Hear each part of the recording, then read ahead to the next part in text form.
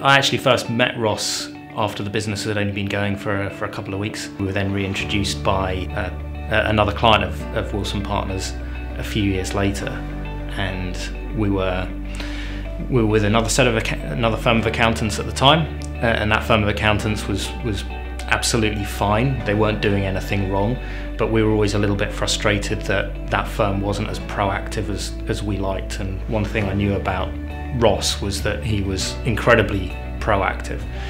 And so we talked to Ross for quite a long time before we decided to retain Wilson Partners. And, and when we moved, we were very pleased that we did.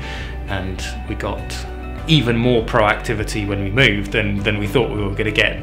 And we felt that Wilson Partners were going to help us grow more than our previous accountants. And that was really important to us in making the decision to come over to Wilson Partners. And because they're always pushing us, we don't feel like we're outgrowing them. They're giving us what we need in order to continue becoming better at what we do, and that's really important to us. We have been using Wilson Partners for business advisory work, for accounting work, for tax work, pensions, anything that we can outsource that relates to money or the running of the business, we use Wilson Partners for to some degree. They don't just give us the service that they think we want, they actually listen to what our needs are and then deliver it. And Wilson Partners business experience, outside perspective, independence, and the fact that each of the people involved could trust them to be independent was absolutely fundamental.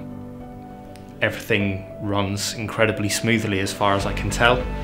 Our accounts are delivered incredibly quickly at year end. What I want to avoid as, as, as the, the person running the business is, is not to have any nasty surprises. And that's absolutely key. And Wilson Partners get that. They understand that nasty surprises are a bad thing and they help me work around not getting those nasty surprises.